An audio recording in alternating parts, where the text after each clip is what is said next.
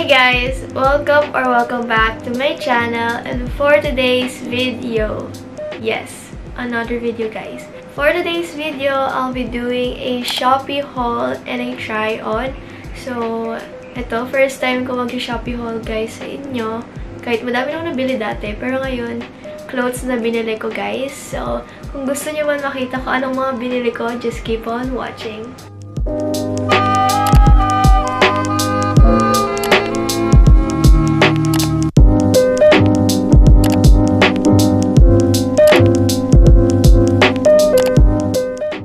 Okay guys, so ito, mga binili kong um, sa Shopee na damit is puro tops lang kasi pag sa bottom, mahirap para sa akin kasi payat ako guys.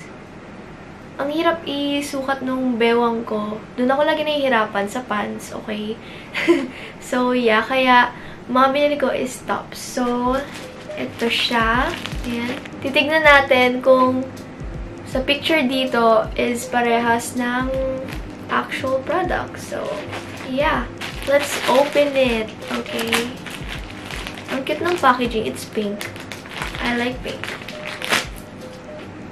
Okay, let's open it. Ang hirap sis, ha? Wow. Okay, ayan na. All in all, I have five items. The first thing that I'm seeing is this lilac top. Then, ito siya. Ayan. So, let's open it. Okay. I can feel na maganda naman yung tela. Is it baliktad or not? Is it really like that? Ganito ba talaga to, guys? Kasi tinan nyo yung tahe. Parang nasa labas. Baliktad ba? Hindi. Bakit yung tahi? I don't get it. Look. Asa labas yung tahi niya. Ayokong ma-disappoint dito guys, okay? Hindi niya kamukha yung nasa picture. Yup, hindi niya kamukha. So, yung first stop, siguro mga 3 out of 10.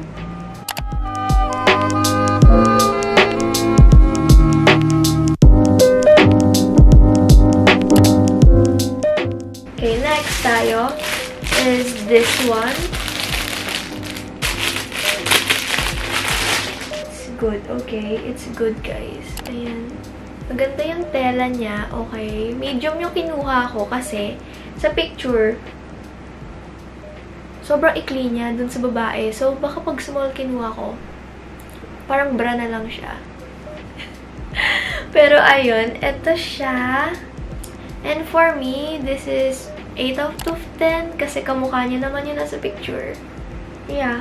Even the prince though, kamukha naman. So, yeah!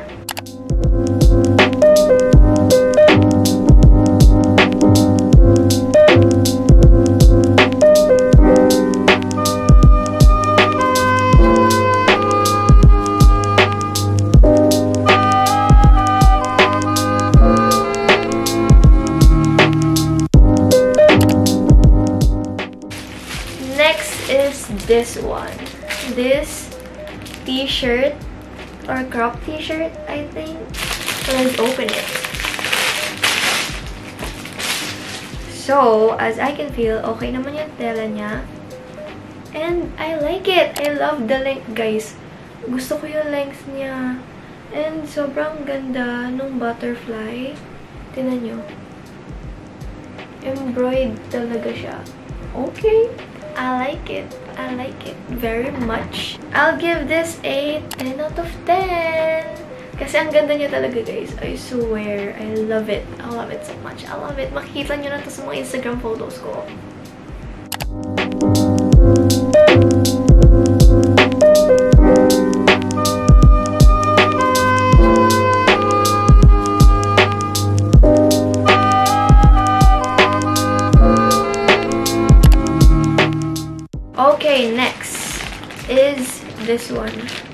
Yung parang may mga angel prints.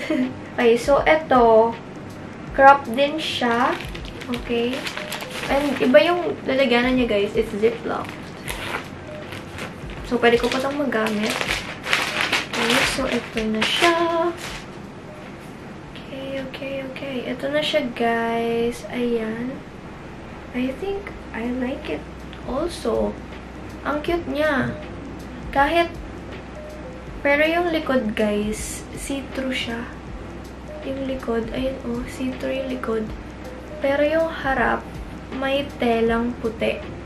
So, mas okay na mag-tube kayo dito.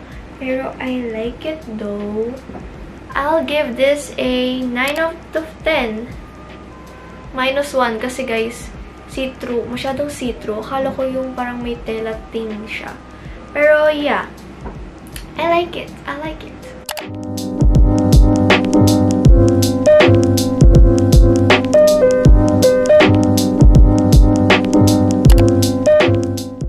Last one. This one.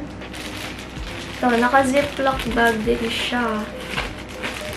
Okay. Whoa! I like the tela so much. Like, ang kapal ng tela niya, guys. Tingnan nyo. Feel it. Hawakan nyo, guys. Ang ganda ng tela, promise. Ayan, may tag pa siya. I like it. Ayan, oh. And I'll give this a 10 out of 10 because I really like it.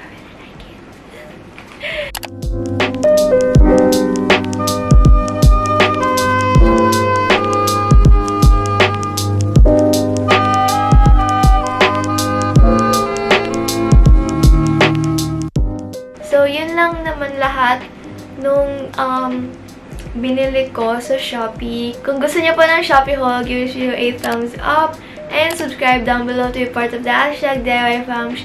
And comment kayo guys kung ano gusto nyong bilhin ko sa Shopee or ipakita sa inyo next time. So, yeah! Stay your path and never give up on your dreams. Bye!